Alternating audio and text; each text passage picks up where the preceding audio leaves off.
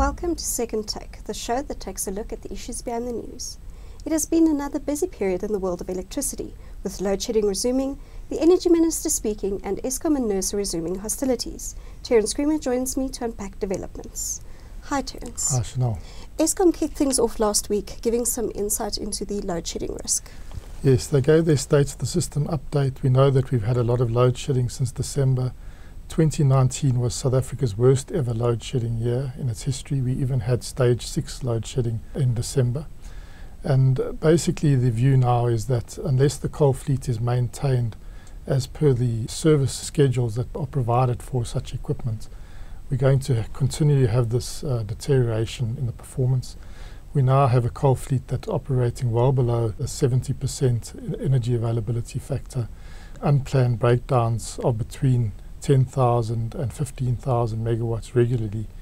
And therefore, the new CEO and the COO, Andre de Ruyter, has given us the outline of a new approach to maintenance. And that's going to mean that load shedding is going to be with us on a more regular basis. And uh, probably for at least the next 18 months, we're going to be seeing load shedding as part of almost our daily routine so that they can do the maintenance as per uh, guided by the original equipment manufacturers. The utility is also chasing additional revenue of 27 billion rand. Yes, there's a number of balls in the air. You've got the operational instability, which has to be fixed, which is a real systemic risk to Eskom and its uh, survival as an entity. And then you've got the financial risk that overhangs Eskom. One of those risks uh, relates to the tariff and Eskom's view that they're still not getting a cost reflective tariff. Society is obviously pushing back because they're saying cost reflective, what are your costs? And you need to lower those. And I think there is a view that uh, there's going to be a focus within Eskom to reduce costs.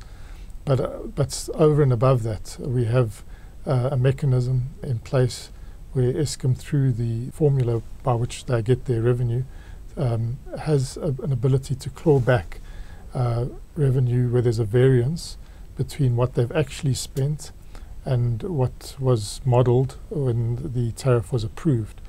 And uh, again, as we've seen in previous uh, regulatory clearing account applications, Eskom's not really looking to give back to the consumer. They, they're saying that they've under recovered uh, on primary energy and other expenditure as well. And then they've also had less sales than was assumed uh, in when the tariff was determined. So they're looking to recover 27 billion rand. Now this is in, in, addition to what's happening at the courts. So we're having the court cases at the moment where Eskom has an urgent application in the way NERSA treated the 69 billion bailout by government, and that we should hear quite soon uh, what Judge Jody Kollapen view how how judge views that, and if the judge sides with Eskom we could see tariffs increase from April 1 instead of 8% sanctioned by about 16%. Um, just to, in terms of how that deals with the um, the 69 billion. Then we have these the regulatory clearing account for another 27 billion. Now it's totally within the, the gift of NERSA as to how that's liquidated. So it might not be liquidated from April 1, but if NERSA agrees that Eskom should get something, and they usually agree that Eskom should get something, not everything, then that could also come in from April 1. And then we've got the other court cases, the review of, uh, of the 2019 uh, tariff, which is the one that the RCA also deals with. We've got the review of the MYPD tariffs uh, that came in uh, under MYPD 3. And we've got uh, a review of the NERSA's RCA treatment. So there's a lot of uh, legal water to flow under the bridge and I don't think we'll have resolution of that before April 1, so that won't affect the tariff. But there's a lot of, uh, suddenly, a lot more uncertainty about where tariffs are going and, and heading, because although we have a three year determination, there are these other moving parts. So we're back to the future in terms of public hearings, and they will continue until the end of February, and then uh, NERSA will have to make a determination. Minister Gwede Mantashe has also weighed in on how to address the power deficit. Yes, I think uh, there's been frustration at the lack of responsiveness from the minister, and uh, he used the platform of the mining indaba to announce his vision for uh, tackling uh, the crisis. We know there's a, this request for information out from the from his department for emergency power solutions. There's frustration around that, given that it took months for the RFI to be released after the integrated resource plan was published. But be that as it may, that, that deadline closed at the end of January, and there were queues outside the, uh, the IPP office doors, um, uh, very long queues, basically offering solutions. Government is now going to go through a process of evaluating that, um, and then they will have procurement programs that will flow probably sometime in February. Then uh, this issue of self-generation, uh, the, the, minister made an important announcement that there would be a change to Schedule 2 of the Electricity Regulation Act. This has really become a binding constraint on especially larger self-generation projects.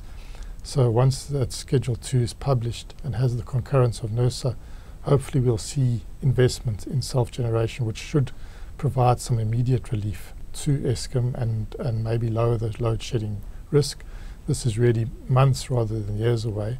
If the private sector does uh, invest in the projects, about 2,000 megawatts of near-term proj projects, that's useful.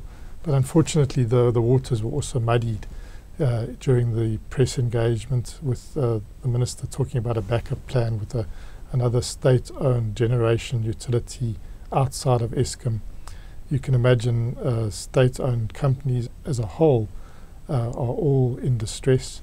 Now we're looking to capitalize another state-owned company uh, to back up Eskom, uh, was the view.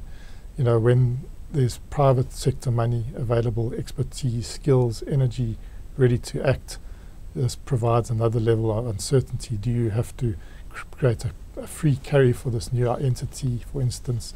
Will the, where will this entity be housed? Will it be in the Central Energy Fund or somewhere else? Um, there's a lot of uncertainty that that creates. So I suppose many will just focus on the Schedule 2 and the relief that that could could give, and that is a positive development. But again, you know, as soon as we take a step forward, we seem to then take a step back, and it does cause creates a lot of uncertainty, which is unhelpful. Thank you. That's the second take show for this week. Thank you for watching, and join us again next time for more news analysis. Also, don't forget to listen to the audio version of our Engineering News Daily email newsletter.